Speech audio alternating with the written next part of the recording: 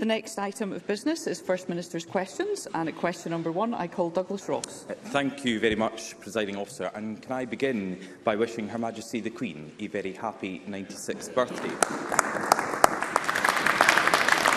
On behalf of the whole Chamber uh, and people across Scotland, we send our best wishes to the monarch who has been a constant in our country for many decades. Through good times and difficult periods, While the country has been at war and during peacetime, a global figure and our remarkable head of state, uh, and I know everyone in this chamber will join us in wishing Her Majesty a very happy birthday. Can I ask the First Minister if she supports plans for drivers who live outside Edinburgh and Glasgow to be charged extra to get into Scotland's two largest cities? First Minister. Firstly, uh, Presiding Officer, can I also take the opportunity to wish Her Majesty a very happy 96th birthday today.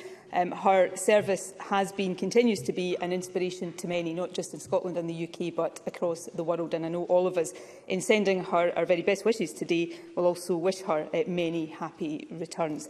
Um, I think it is right that we support uh, those who require to use our uh, roads uh, and that we do that in a range of ways, uh, for example ensuring uh, the good maintenance of our roads, uh, pressing for action on the part of the UK uh, Government to cut uh, the cost of uh, motoring, particularly just now when people are suffering uh, from cost of living. But of course, we also, all of us, have a big uh, responsibility to ensure that we make the transition to net zero, and that means decarbonising our transport uh, system. So local authorities uh, will consult on a range uh, of issues, and it's important uh, that those responsibilities uh, are kept uh, in our minds, but also the views of the wider public are taken fully into account. Douglas Ross. So the First Minister wants to support those who use our roads, and her answer, tax them more. Because the SNP government bought, brought in the workplace parking tax, and the SNP group in Edinburgh has charged ahead with plans to introduce it. Mm -hmm. Plans that would hit anyone who needs their car to get into work in the city. And now in their manifesto for the local election, the SNP have included proposals to charge vehicles just to come in to the capital. It's a commuter tax on people all over the country who travel to work in Edinburgh who come to do business, to visit family and friends or to use vital services. Scottish Conservatives are completely opposed to this proposal. So why are the SNP intent on making driving in our cities unaffordable? Yeah. First Minister.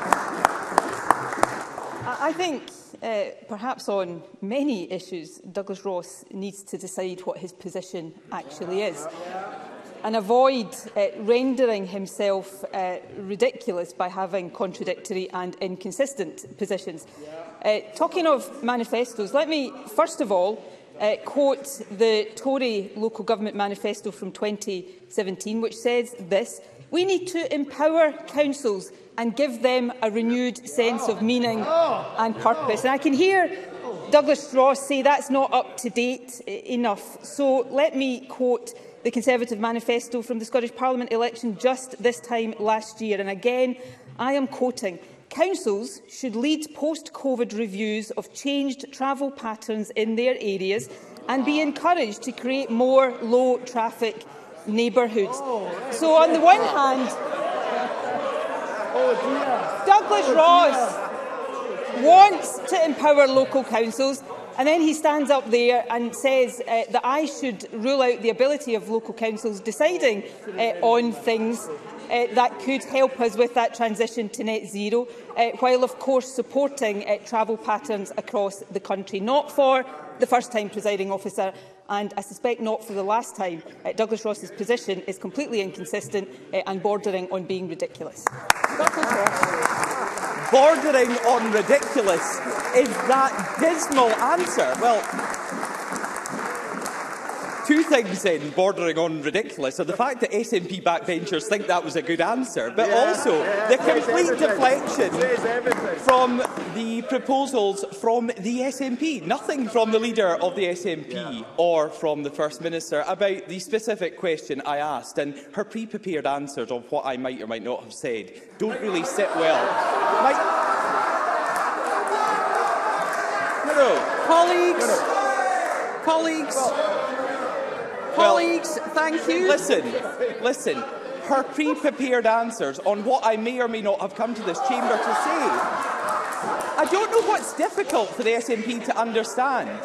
The First Minister, the First Excuse Minister... Me, Mr Ross, can we please hear Mr Ross? Thank you.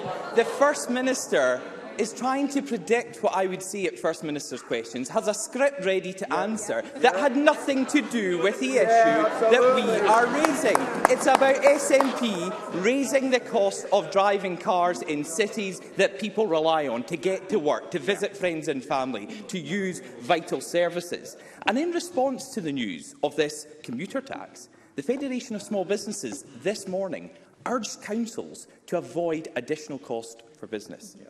They make it clear that a commuter tax would hit tradespeople coming from the Lothians, the Borders, Fife and further afield. And it's not just those areas that will be hit with extra charges from SNP councillors. Anyone working in Glasgow also faces the prospect of extra charges for driving into their city. Glasgow SNP leader Susan Aitken has suggested capping traffic on the M8. She's also considering introducing toll roads First Minister, a previous SNP government scrapped those charges. Will you stand up and give a categorical answer that you will not bring them back in again? First Minister. I think Douglas Ross uh, might want to reflect on the fact that the Chamber wasn't laughing uh, with him uh, a few moments ago, um, because I was quoting from uh, Conservative manifestos uh, that actually put their finger on the really important issue here. I think everybody across the country, um, and certainly everybody in this chamber, knows that all of us, not just in Scotland but across the world, face some really uh, difficult, tough, challenging decisions in the years to come about how we heat our homes uh, and also how we travel around the country so that we can meet so that we can meet our climate change obligations, make that transition to net zero, but have a transport system uh, that still supports our economy um, and supports the, the travelling public. So eh, it's easy for uh, the Scottish Conservatives to reduce uh, these uh, challenging decisions in the simplistic way that they have, but the rest of us know uh, that these decisions have to be uh, faced. And this is about empowering local councils to consult on these decisions, to consider the options and to arrive at decisions. Um, and that uh, is what we are doing. It's what the Conservatives used to support support, but clearly now uh, don't. Uh, but we, as a government, continue to support uh, the transport system across the country. Since this government took office, uh, we have invested in excess of £9.5 billion pounds in managing, maintaining, improving Scotland's trunk roads and our motor work, uh, motorway network. We're also investing over £500 million for bus priority measures to support people out of cars. Uh, so we will continue to take the tough decisions. Uh, we will continue to consult the public and come to sensible decisions and back those decisions with investments. That's serious government as opposed to ridiculous opposition. Douglas Ross. Three questions so far to the First Minister and zero answers. No It was a very no straightforward question. Would the First Minister rule out road tolls being reintroduced in Scotland? And she was silent, didn't even attempt yeah. to answer that question. But of course, across the chamber, all parties agree on the need to do more to meet our climate change targets. But, well, well, SNP members laugh about this, but in many industries and across rural And across rural areas especially, people still need their cars. Yeah. And there, right now, there couldn't be a worse time to further hike the cost of driving. We're in the middle of a cost of living crisis. Petrol prices are rising globally. Yet Nicola Sturgeon wants to tax people off the road by hammering anyone who owns a car. And the people who will be hit hardest are not the wealthiest, but ordinary working people who need their cars and who are already struggling with the cost of living. If the First Minister carries on down this road, Nicola Sturgeon and her SNP candidates are going to force Scotland's economy into the slow lane. The commuter tax should be abandoned. Toll charges should be ruled out, First Minister, and her workplace parking tax should be ditched. First Minister, will you drop this triple whammy of anti-driver taxes? First Minister, I go support uh, road tolls, but I do support local councils being empowered to consider the tough issues that they face, to consult with the public and to take Excuse sensible me, First Minister. Excuse well, me, First Minister. First Minister. First Minister. We will hear the First Minister. Yeah. Thank you. And I'll say two further things. Yes, people do uh, continue to need their cars, particularly in rural and remote parts of our country, which is why this government has invested so heavily in maintaining and improving our trunk road and our motorway network. We've delivered improvements right across the country uh, to meet the needs of all of the population, including the Queensferry crossing, the Aberdeen Western peripheral route, the M8, M73, M74, motorway improvements, uh, and we will continue to do so. But the final point I would make, presiding officer, which I know is one that Douglas Ross uh, will not want to face up to, what is hammering at people, uh, including motorists right now across the country, is the Tory-created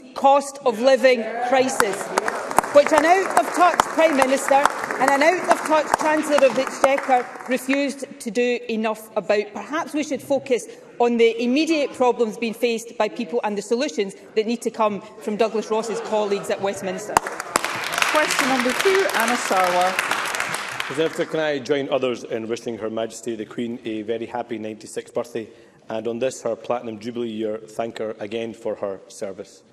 Uh, President Officer, before Easter, I highlighted the £2 million that the government wasted on a turnaround manager at Ferguson's who left the yard in a worse state than he found it. The First Minister supported paying him nearly £3,000 a day while, the, while Scots faced a cost of living crisis.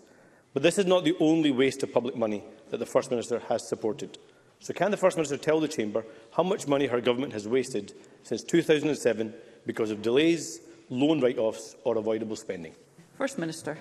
Um, I don't have uh, that figure uh, to hand. I'm happy to look at that. I'm, I uh, suspect uh, the way Anna Sarwar is characterising that uh, may not be entirely one that I would agree with, but I'm more than happy to look at his question in the detail of that and uh, write to him with uh, the information in due course.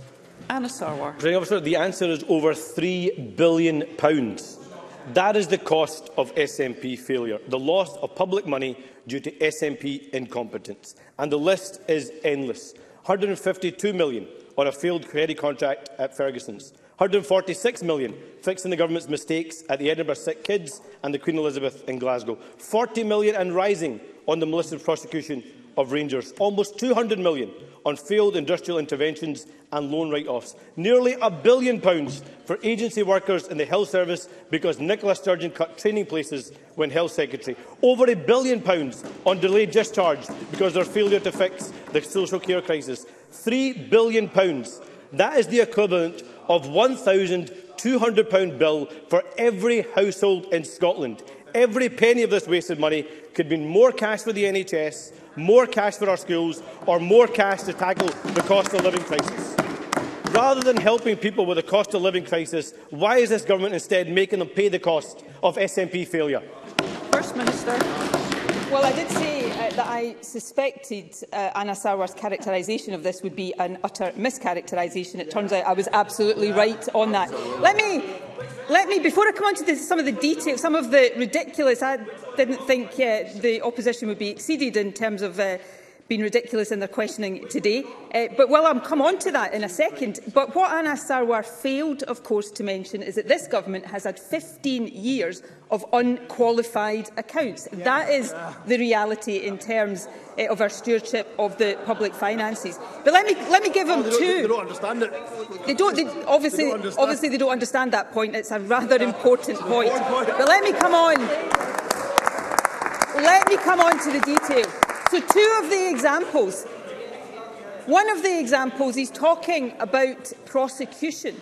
Prosecution uh, decisions, of course, be matters for the independent yeah, Crown yeah, Office. Yeah. Uh, and yet he is Is Anna Sarwar seriously saying that I, as First Minister, or any minister of this government, should have interfered in the independent prosecution decisions of the Crown Office? Perhaps he should clarify that matter. And then the second example I'll, I will use, uh, where he is downright wrong, is his, uh, £146 million of additional costs in relation to hospitals. So the vast majority of that figure, and I've looked at that closely because I've heard Labour use it, relates to planned costs which were in no way new, unexpected yeah. or avoidable. So, for example, 80 million of uh, that related to preparatory works which were separate to the uh, main contract but were budgeted costs included in the business case. Another £33 million related to the annual service payment, also part of the original business case. Uh, so there's a lot of nonsense in the question that Anna Sarwar has just asked there, and perhaps he should reflect on that. Anna Sarwar. asking about wasted money, that's a waste of an answer from the First Minister right there. Eh, £40 million in a malicious prosecution, the first time ever in Scottish history. Perhaps the government should reflect on that. A hospital built for Edinburgh sick kids that failed to open. Perhaps the government should reflect on that. The failures in the Glasgow Queen Elizabeth Hospital. Perhaps the government should reflect on that. Because right around the country, we are seeing the cost of SNP failure. And at the same time, energy bills are up, petrol prices are up, and the weekly shop is more expensive than ever. Right now in Scotland, there are mums skipping meals in order to feed their kids. People are knocking back items at food banks because they can't afford to cook them. And in the face of the biggest drop in living standards since the Second World War, both our governments are not doing enough. Instead of wasting billions of pounds paying the cost of SNP failure, we should be supporting families with a cost of living crisis. The £111 million of loan write-offs could have been used to top up the Scottish Welfare Fund. The £152 million misspent mismanaging Ferguson's could have been used to have rail fares for three months, not three weeks, and cap bus fares. The £1 billion on delayed discharge could have been used to give our care workers the pay rise they deserve while families right now are being forced to account for every single penny of their spending, why does this First Minister think it's acceptable for them to pay the cost of £3.2 billion and rising of SNP failure? First Minister, there are some really, really serious issues in there. And I, I hope, uh, if not uh, during this session, then after this session, Anna Sarwar will clarify at least, well, two points actually. But firstly, this one, because this is actually a serious constitutional question. Yeah. He has twice now referenced the Rangers prosecution um, and the cost of settling that. But if he thinks that is something that I uh, could have influenced, then is he saying that ministers should have been involved in or influencing the independent prosecution decisions or intervened in any way in that. And if he is going to somehow suggest, as he has, uh, that those uh, costs are waste on the part of the SNP, then he really has to answer, he really has to answer that fundamental question. Does he think I should have interfered in the prosecution decisions of the Crown Office? The second point, going back to the £146 million in relation to the hospital, is he saying that £80 million pounds, uh, on essential preparation work shouldn't have been done for those hospitals? Because that is the logical conclusion of what he's saying. So the, the spin and the sound bites might sound good when Anna Sarwar is rehearsing these questions, but I think he should pay a bit more attention to the detail. First Minister, First Minister substance. if I may, there is a lot of background um, contribution going on in the chamber at the moment, and I'd be grateful if it could cease and we could hear the First Minister. Thank you. And to come on to what I think is the important part of the question, which is the cost of living crisis, Anna Sarwar has referenced rising petrol costs and rising energy costs. Can I remind Anna Sarwar uh, that power over energy and the cost of petrol are still reserved to Westminster, and if he wants to change that, then he should argue for those powers yep. to come here. And in terms of the wider cost of living, We've increased the benefits that this government is responsible for. We've doubled the child payment, and if we are able to do, if we are to be able to do more, then he needs to support us in calling for greater welfare powers to come to this Parliament as well. We will now move to supplementary questions, and I call Paul McKinnon. Thank you, President Officer. As the cost of living soars and thousands of families across the country are already feeling the crush of grossly inflated energy bills, Can the First Minister give an update on the number of families benefiting now from uh, free childcare and how much money this will save them at such a critical time? First Minister. Um, over 111,000 uh, children were ac accessing funded early learning and childcare in January of these years. Uh, of this year, 87% uh, of these children uh, are taking up the full entitlement and families who do take up The full entitlement can save up to £4,900 uh, each year for each child. And this is the most generous early learning and childcare offer anywhere in the UK. And of course, it will also deliver better uh, social and educational outcomes for Scotland's children. Brian Whittle. Uh, thank you, Presiding Officer. Uh, First Minister, there is an estimated 132,000 people suffering from long COVID in Scotland, with 59,000 of, of those experiencing, sympt experiencing symptoms for more than a year. This is a ticking time bomb, and yet I think the SNP government is merely sticking its head in the sand, having dropped their debate on long COVID from the schedule this afternoon, preventing this Parliament an opportunity to discuss this. So can I ask the First Minister when are we going to see specialist long COVID clinics in Scotland? First Minister. Well, we're currently implementing the commitments in the long COVID uh, approach paper. Uh, that is all about improving care and support for people with long COVID in Scotland. Long COVID clinics are one model that health boards can consider, but we've always recognised, and I think rightly so, that no one single approach is going to fit all areas and circumstances. So health boards have to look at a range of approaches. In terms of the debate. Of course, uh, we have made clear and given a commitment that we will have a debate uh, in the next few weeks. At that time, we will provide a full update on progress. Um, and the intention is that we can provide Parliament at that time with a detailed out, uh, update of the outcome of the planning process currently being undertaken with NHS boards to determine the first allocations of the long COVID support fund, uh, which of course is what MSPs have been calling for. Monica Lennon. Thank you, Presiding Officer. The anti-abortion lobby now sees Scotland as an easy target, with campaigners following the Texas playbook. Last September, I raised concerns with the First Minister and the urgent need for protest-free buffer zones at abortion services. Does she regret that swift action has not been taken? And can she confirm when telemedicine for early abortion will be made permanent as Scotland is now trailing behind England and Wales on this important healthcare matter? First Minister. Well, firstly, can I say uh, on behalf of the Scottish Government, but also uh, as uh, First Minister, indeed personally, uh, that we are committed to ensuring that all women are able to access timely abortions uh, without judgment.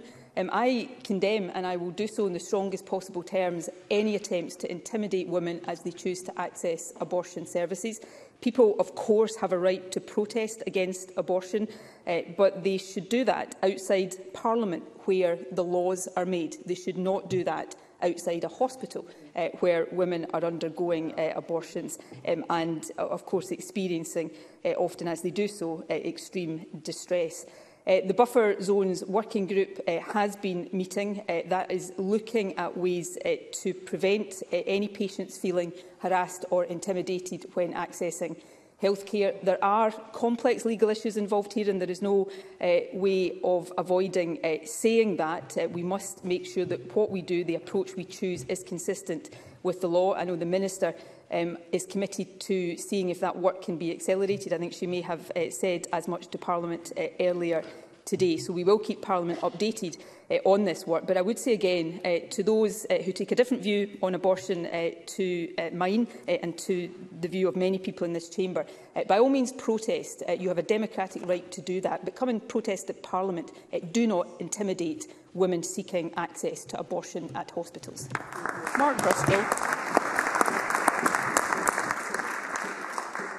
the proposed closure of 19 Bank of Scotland branches will mark the loss of the last bank in town in Dunblane and many other communities. And as a result, vulnerable people in Dunblane without access to digital banking would need to make a 12-mile round trip to the nearest branch. Does the First Minister agree that this move is clearly out of step with our ambition to build 20-minute neighbourhoods, regenerate our high streets and connect communities to lifeline services? First Minister. Uh, yes, I, I, do share those concerns and I, I, share those sentiments. I think we all understand that the way people access banking services it has changed and, and changed quite fundamentally in some respects. And of course, banks have to respond to that and make sure the services uh, they provide are reflective of that. Uh, but physical presence of uh, banks and, of course, other facilities can be very uh, important in sustaining access, but in sustaining the life of uh, local communities. And it's really important that banks try to find uh, the right balance. Uh, I uh, have personally and the government uh, generally has communicated these views uh, to the banking sector and will continue to do so. Stephen Kerr. Thank you, President Officer. Communities like Earth in Falkirk District are being left behind by the SNP government's funding cuts to flood prevention. Ask the people of Earth.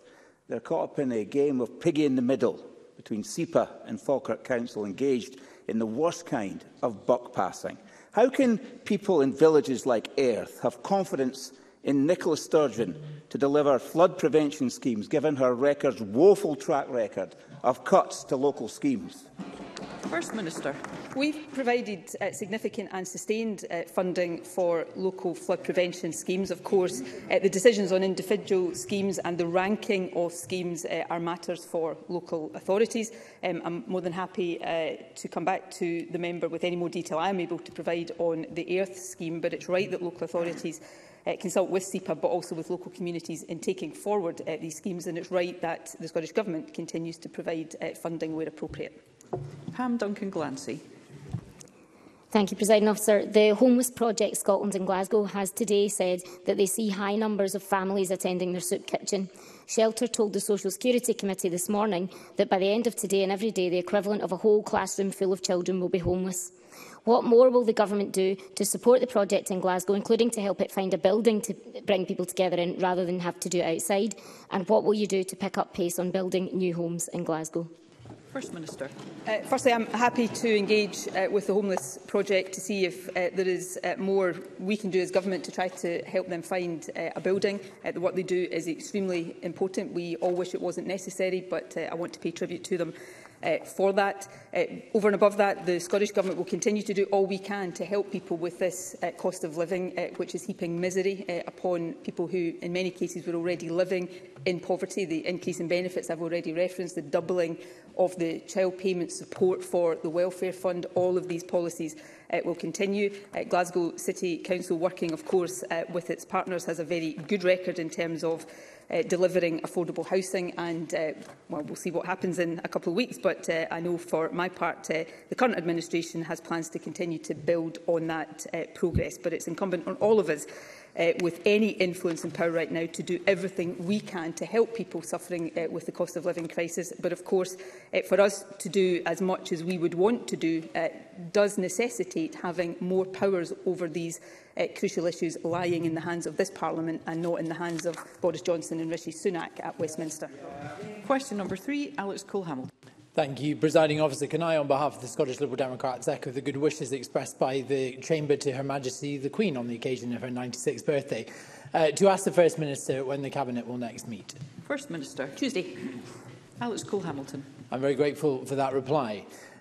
In January, the Scottish Government announced it had sold the lion's share of Scotland's seabed for £700 million. On it will be built huge wind farms. What ministers didn't tell Parliament that day was that the Scottish Government and Crown Estate Scotland explicitly stopped companies paying a vast amount more. There was a cap on bids of £100,000 per square kilometre. That's despite a sale in England and Wales, where there isn't a cap, achieving four times that in initial deposits alone. We know wind farm jobs are going overseas. It happened again in Murray last week. So the First Minister can't tell Parliament this is about employment. Scotland's seabed can only be sold once. The sale price matters because if it is cash that flows straight to the Scottish Government's budget for schools and hospitals. Presiding officer, the Scottish Government has sold these national assets on the cheap. They have thrown away a fortune. So can I ask the First Minister, when the auction south of the border netted four times more, why was she still determined to limit how much companies in Scotland should pay? First Minister. Um, firstly, uh, the process used by uh, Crown Estates in making these decisions uh, was fully transparent, uh, right and properly so. Uh, secondly, uh, I think we have to be careful in making these comparisons between uh, the Scottish auction round and uh, similar rounds elsewhere. Uh, there are differences in terms of the complexity of these projects in Scotland, partly to do with the, the depth of the water uh, that these projects are taking place in. Uh, the, the, the other point I would make is that uh, while uh, Alec Cole-Hamilton's points about the £700 million are correct. That is not the only income uh, from uh, these projects. Uh, there will be annual rental costs as well. And of course, if we do this correctly, which we are determined to do, uh, then there is going to be very, very significant economic benefit. And my final point would be to remind the Chamber of the vast potential of this. We went into this auction round with a planning assumption of 10 gigawatts of offshore wind power. We've come out of that auction round with potentially 25 gigawatts of offshore wind power. This is a, a massive, massive opportunity for Scotland and one that all of us should be extremely positive about. Question number four, Jenny Minto. Officer, to ask the First Minister what assurances the Scottish Government has had from the UK Government that the reported privatisation of Channel 4 will not negatively impact on the development of the creative sector across Scotland and the growth of new Scottish talent. First Minister. The Scottish Government strongly opposes the privatisation of Channel 4. In its present form, Channel 4 makes a significant contribution to the creative sector in Scotland, investing more than £200 million in Scottish-based production since 2007 and, of course, opening a creative hub in Glasgow in 2019. Since the announcement of privatisation plans uh, by the UK Government on Twitter, no further information has been forthcoming from the UK Government. As soon as they do provide clarity, we will seek assurances about how they will ensure there is no negative impact on the creative sector in Scotland. Jenny Minto. Thank you for that answer. Does the First Minister share my concern that Channel 4 is currently under threat from a Tory government that appears to be doing all it can to undermine the principles of public service broadcasting for its own narrow political interest? First Minister. Yes, I do. Um, I think that is absolutely what is happening. These proposals, I think, represent uh, cultural vandalism, yeah. uh, but they do also uh, represent an attempt on the part of the UK Government to undermine public service broadcasting. Uh, I can't see any reason whatsoever uh, why Channel 4 should be privatised, and especially not at the very time it has shown resilience in weathering the pandemic and strengthened its content spend and investment in Scotland. Uh, the model, the current model, is a good one, is a successful one, uh, and it's one that upholds the principles of public service broadcasting, and I think we should all get behind it and seek to see off uh, these misguided Conservative proposals. Question number five, Liz Smith to ask the First Minister whether she can provide an update on the Scottish Government strategy to include libraries in the policy to address the attainment gap. First Minister. Libraries deliver a range of benefits providing vital access to learning materials and resources, uh, helping improve literacy and of course tackling the attainment gap. While local libraries are the responsibility of local government, the Scottish Government is committed to directly supporting libraries.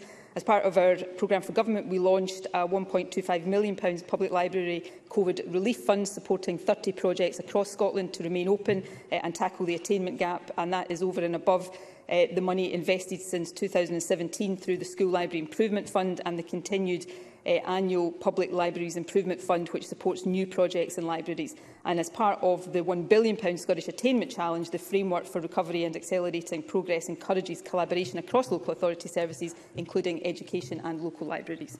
Liz Smith. The First Minister uh, made great store by the National Strategy for School Libraries, which was launched in 2018, as she just said, Uh, but both the Scottish Library Information Council and SPICE tell me the advisory group met on four occasions in 2018, but there are no records of any recent meetings, no updates on progress made, particularly in terms of how effective the school library fund is being spent, and that a large number of primary schools remain without a library or, just as importantly, without a librarian.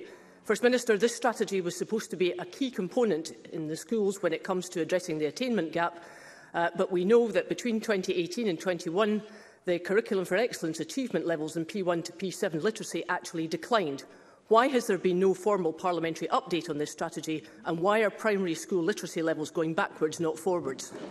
First Minister. I think we are seeing improvements in attainment in Scotland's school. All of us understand uh, the impact of COVID uh, after uh, the past couple of years, uh, and that makes it all the more important that we focus uh, on initiatives to improve attainment. Um, I will write to the member or ask the Education Minister to write to the member with more details on the work around school libraries, but I did in my answer talk about the investment we are making through the School Library Improvement Fund, which I think demonstrates the commitment of this government to supporting libraries in schools and to supporting local community libraries as well. Michael Mara. Thank you, President Officer. It's absolutely right to highlight the importance of libraries to closing the huge attainment gap we have in Scotland. What does the First Minister have to say to the young people of Kirkton in Dundee, an area of deep deprivation with among the lowest attainment in Scotland, for whom the SNP government is cutting 79% of attainment funding, and for whom the SNP Council is closing the library? First Minister. Of course, in the decisions we have taken in terms of the attainment funding uh, are in recognition uh, of the fact uh, that we see deprivation in all parts uh, of the country and those changes uh, to the allocation of the attainment fund uh, were of course fully supported uh, by COSLA, uh, including the members' own colleagues uh, on COSLA. And in terms of uh, libraries, uh, we continue, as I've said in my earlier answers, to support school libraries uh, through the School Library Improvement Fund, uh, and we will continue to do that. Question number six, Mercedes Vialba to ask the First Minister what action the Scottish Government is taking to bring down the cost to tenants of private rent in the coming year. First Minister. Uh, we're all aware of the significant pressures facing private renters, which is why our commitment to introduce rent controls is so important. Uh, that means, of course, doing detailed work to ensure that we implement an effective system of rent controls that is right for Scotland robust against challenge uh, and one that will stand the test of time. Our housing bill will begin that process and also strengthen existing rights by ensuring anyone who believes that the rent increase is unfair can apply for adjudication without fear of their rent being put up. We're also providing immediate financial support for people who might be struggling. This includes doubling the Scottish Child Payment, as I've already referenced from the start of this month, and investing up to £86 million this year in discretionary housing payments. Mercedes Fialba. I thank the First Minister for that response. While the Scottish Government's commitment to introduce rent controls is of course welcome, rents are rising right now, so tenants can't afford to wait three or more years for action. Yeah. The First Minister has rightly called for more action from the UK Government to help tackle the cost of living crisis, but this Parliament has powers to address one of the biggest pressures facing people in Scotland right now, which is rising rent costs. Some councils have already taken the positive step of introducing rent freezes for social tenants. So will the First Minister to com commit today to exploring the implementation of an emergency rent freeze to support all renters in Scotland? First Minister. As a matter of good faith, I will undertake to explore uh, any suggestion that is made in the Chamber. Uh, we all want to do everything we can to help.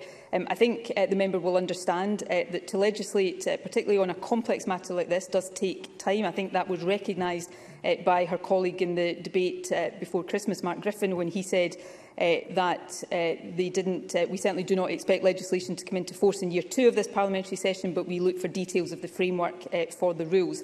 Um, so we will continue to look uh, at how we can, if it is possible, accelerate progress here but in the meantime take further action. We have already strengthened tenants' rights uh, in recent years and of course it is not the case uh, that we are not providing help in the meantime. We have the £10 million tenant grant fund uh, focused on helping private and social tenants who are struggling financially uh, and we're providing £86 million in housing support uh, this year and we provided £39 million pounds of additional funding to avoid evictions as a result of the pandemic and we'll continue to make support available but also continue uh, to look closely at any suggestions for further action that might be made.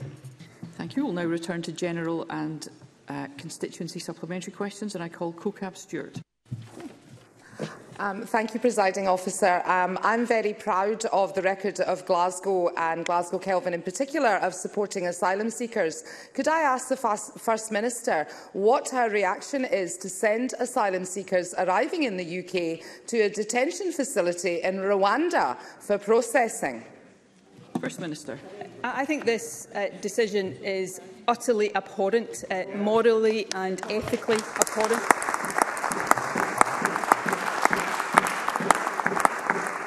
It's a total abdication of the UK's moral and international responsibilities to asylum seekers and refugees and it will also make it more challenging uh, and prolonged for people to say, seek safety from war and persecution. Uh, I think in uh, this decision the UK Government is ignoring the welfare of extremely vulnerable people um, and for all of these reasons this policy has rightly been condemned by many. Uh, when you hear uh, Theresa May uh, stand up in the House of Commons. And remember, Theresa May was the Home Secretary who sent uh, eh, go-home uh, vans around Glasgow described this policy uh, as morally, ethically uh, and uh, practically wrong, then I think all of us have to realise how far from any moral course the UK government is going on this issue.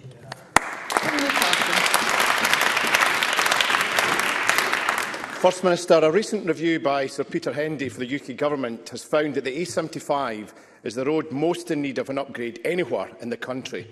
Will you admit that the failure to upgrade this dangerous road, often referred to as a goat track, represents a broken promise by the SNP to the people of the southwest of Scotland and the haulage and ferry companies that depend on the route to move goods to and from Northern Ireland? First Minister. Uh, no, I don't accept that. Uh, the STPR2, of course, recommends that safety, resilience and reliability improvements are made on the A75 uh, corridor to support access to Stranraer and to the ports at Cairnryan, and we will continue to take decisions that do indeed uh, support that access, which all of us accept and agree is extremely important. Natalie Dawn. Thank you, President Officer. Given the rising cost of living, can I ask the First Minister if she welcomes the announcement yesterday that the newly publicly owned ScotRail will be slashing off-peak ticket prices in half for the month of May? First Minister. Yes, I absolutely uh, welcome uh, this half-price fare offer that, uh, of course, newly uh, publicly owned uh, ScotRail announced yesterday. Uh, this was originally postponed due to Omicron, uh, but people will now be able to book discounted tickets between the 9th and 15th of May for outward travel between uh, the 9th and the 31st of May, with return travel to be completed by the 30th of June. Uh, the ScotRail's Kids for a Quid discount will also uh, be able to be used in conjunction with this offer, uh, which means that up to four children can travel for £1 uh, return each, uh, with each adult. Uh, we want people to return to travelling by rail, uh, but we know we need to make it affordable to be a truly attractive alternative to using uh, the car. And public ownership of ScotRail means delivering a service which listens and responds to passenger need, and we will continue to develop further initiatives that make rail a better choice as we work towards our ambitious net zero targets. Graham Simpson. Thank you. The Auditor General has said today that an independent audit was unable to conclude that governance at South Lanarkshire College in East Kilbride was satisfactory over the last year. There have been serious issues at this college. Whistleblowers have made a number of allegations with reported claims of fraud, theft and general malfeasance. The principal, Aileen McKechnie, ordered an audit report which the college is refusing to publish. She and the interim clerk to the board were then suspended. I suspect she was ruffling feathers. The College has now published an action plan that says procedures should be changed in areas such as procurement, preventing bribery and carrying out supplier due diligence. A light needs to be shone on what has been happening at this college. So will the First Minister order an investigation and commit to making its findings public? First Minister.